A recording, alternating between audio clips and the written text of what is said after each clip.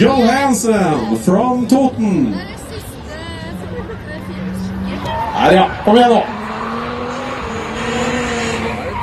Han har en jobb å gjøre. Skal han blande seg inn og få en plass i finale? Ja da. Ja da. For Anders leverer bra her, han.